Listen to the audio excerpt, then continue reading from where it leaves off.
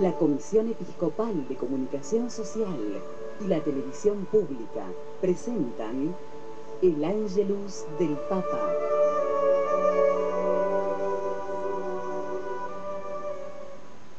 Muy buenos días. Les damos la bienvenida a una nueva emisión del mensaje dominical del Papa Francisco. E Queridos hermanos y hermanas, buenos días. El Evangelio de este domingo una de esas páginas que mejor manifiestan la revolución cristiana. Jesús muestra el camino de la verdadera justicia mediante la ley del amor que supera la del talión, es decir, ojo por ojo y diente por diente. Esta antigua regla imponía infligir a los transgresores penas equivalentes a los daños recibidos, La muerte, La a quien había matado, la amputación a quien había herido a alguien y así por el estilo.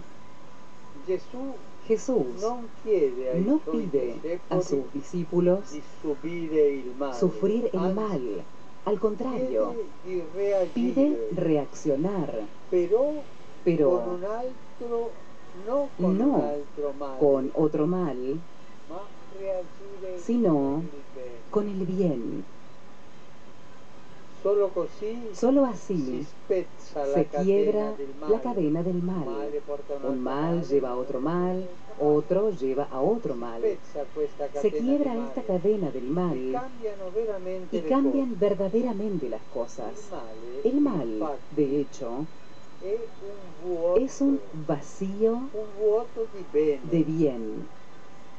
E un vuoto Y un vacío no se puede llenar con otro vacío, sino solamente con un lleno, es decir, con el bien.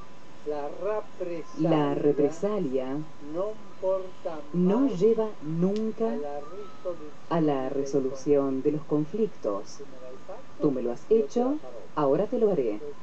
Esto nunca resuelve un conflicto, ni tampoco es cristiano.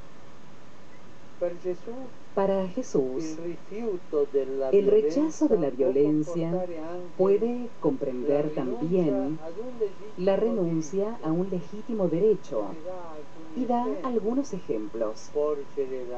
Poner la otra mejilla, ceder el propio vestido o el propio dinero, aceptar otros sacrificios.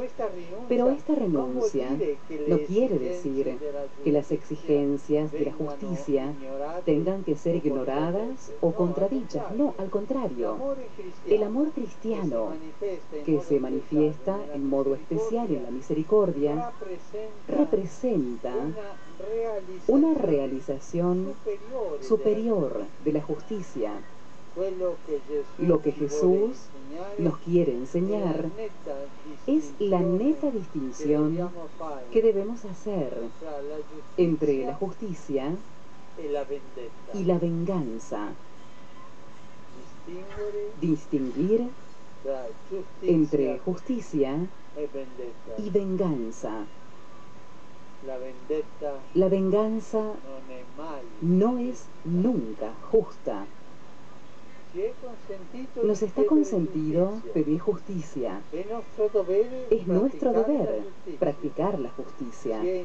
En vez, nos está prohibido vengarnos o fomentar de cualquier forma la venganza en cuanto a expresión del odio y de la violencia.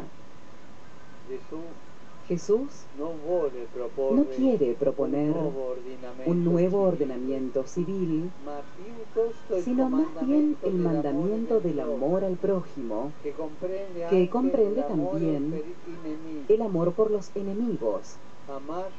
Amen a vuestros enemigos y recen por aquellos que los persiguen. Y esto no es eh. fácil, ¿eh? Esta palabra no debe ser entendida como aprobación del mal cumplido por el enemigo, sino como invitación a una perspectiva superior, a una perspectiva magnánima, semejante a la del Padre Celestial, quien, dice Jesús, hace surgir el sol sobre malos y sobre buenos, y hace llover sobre justos y sobre injustos. También el enemigo, de hecho, es una persona humana, creada como tal, como imagen de Dios. Si bien en el questa presente esta imagen está da ofuscada por una conducta indigna.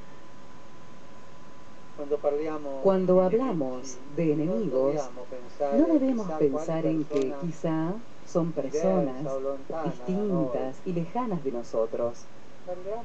Hablamos también de nosotros mismos, que podemos entrar en conflicto con nuestro prójimo, a veces con nuestros familiares. ¿Cuántas enemistades en las familias? ¿Cuántas? Pensemos en esto. Enemigos son aquellos que hablan mal de nosotros, que nos calumnian y que nos hacen injusticias. Y no es fácil digerir esto. A todos estos estamos llamados a responderles con el bien, que también tiene sus estrategias inspiradas por el amor. Que la Virgen María nos ayude a seguir a questa Jesús en este camino exigente, que verdaderamente exalta la dignidad humana y nos hace vivir como hijos de nuestro Padre que está en los cielos, que nos ayude a practicar la paciencia, el diálogo, el perdón y a ser así artesanos de comunión, artesanos de fraternidad en nuestra vida cotidiana, sobre todo en nuestra familia. Angelus Domini Nunciavit Mariae.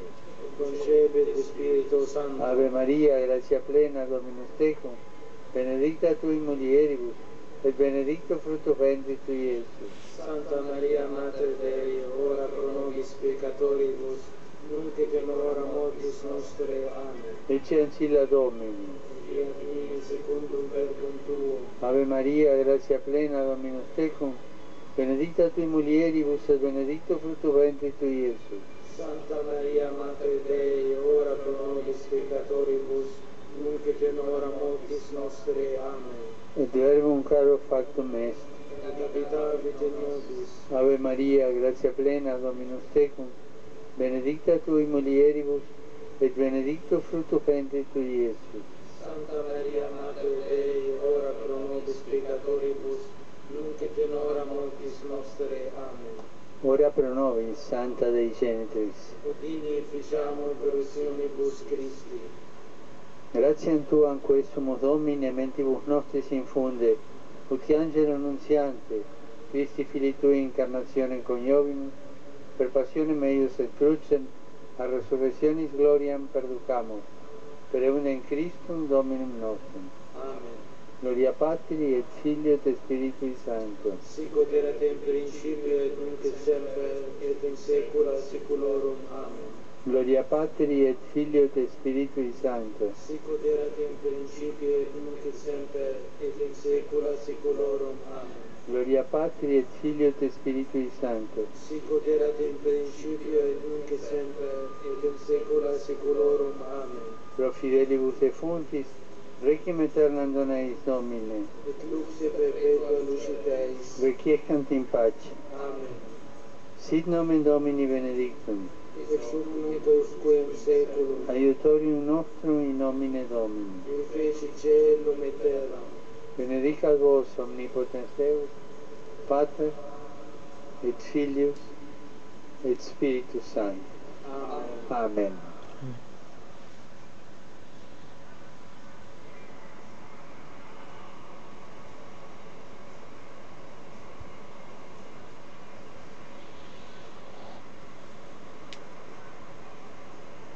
Queridos sorelle, hermanos y hermanas, continúan, lamentablemente, llegando noticias de e enfrentamientos violentos y brutales en la región de Kasai Central de la República Democrática del Congo. Siento fuerte dolor por las víctimas, especialmente por tantos niños arrancados a su familia y de la escuela para ser usados como soldados. Esta es una tragedia. Los niños soldados, aseguro, Mi cercanía y mi oración. Asimismo, el Papa rezó por las víctimas de recientes atentados en Pakistán e Irak, para que cada corazón endurecido por el odio, dijo, se convierta a la paz según la voluntad de Dios. Hasta aquí, una nueva emisión del mensaje dominical del Papa Francisco desde la Plaza San Pedro. Les agradecemos por su compañía y los invitamos a un encuentro similar el próximo domingo. Será hasta entonces.